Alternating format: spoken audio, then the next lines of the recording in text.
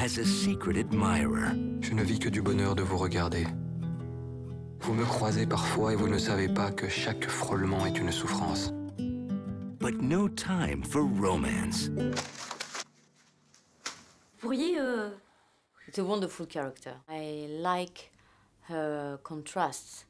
I like the fact that she can be stubborn and selfish, and but in another way, very sweet and charming. She loses her self-confidence very quickly, so I like how she can be unbearable and in another way, in another side, charming.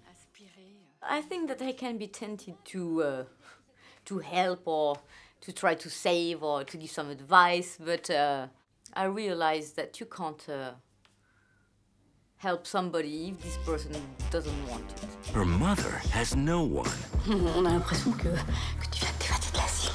But needs love more than ever. Je sais que tu voudrais que je rencontre quelqu'un de bien qui m'aime. Ou même quelqu'un de pas bien. What I like about um, Pierre Salvadori's work is that he's really, for me, is a, really a king of uh, romantic comedy, but he avoid the format, you know, because what's a romantic comedy? It's a, uh, a woman who doesn't like a guy and vice versa, and at the end they will love each other, you know. He's not scared to show also the dark side of the character or of the relationship. I really like how bright it is and how Pierre Salvadori played with all the mechanic of the lies and the twists and you know the surprises and it's very very very well written.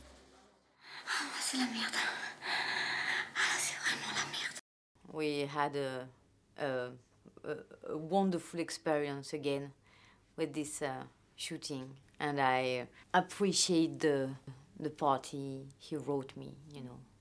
It's a wonderful character very funny. Tu l'embrasses avant de partir? Pour un gars si réservé, plutôt surprenant. Faut voir que je l'ai rendu heureux. Pas trop quand même. Audrey Tautou, Beautiful Lies. In cinemas August 12th.